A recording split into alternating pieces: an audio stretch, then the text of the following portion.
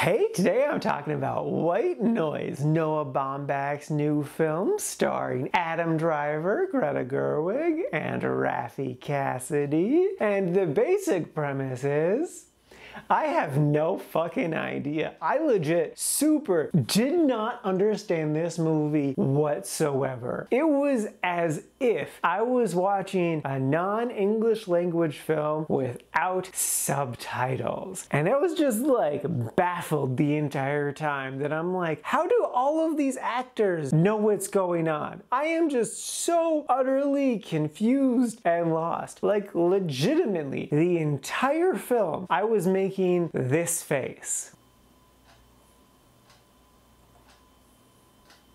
Like, it was to the point that my forehead fucking hurt. And then I'd relax it for a bit and like rub it, but then it'd just go right back to being down. And I'd be like, what is happening right now? What is this? It felt like a parody of something I have never seen before. But I should have. It feels like I should know what's going on. I feel like more or less I'm well versed in not only pop culture, but just kind of general things. I went to college. I know stuff, I guess. The piece of paper says I do. No fucking idea what this movie is. If you do know, please tell me. I honestly want to know. I want to understand what the fuck this fucking movie was. What was this? So, as you can probably imagine, I didn't super care for this film because I didn't understand it, and therefore I wouldn't recommend it. But if you're a person who has seen the film and would recommend it to others, please enlighten me. I want to be enlightened. What the fuck is this movie?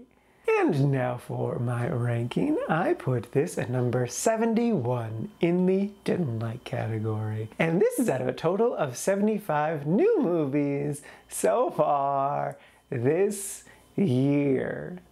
Like I was legitimately just like, what is what is happening right now? What is happening? And like as it went on, I'm just like, is this just gonna get more wild and crazy? And then it didn't, sort of. Or did it? No, it didn't. Or did it? I don't know. It's so weird. I don't get Noah Baumbach.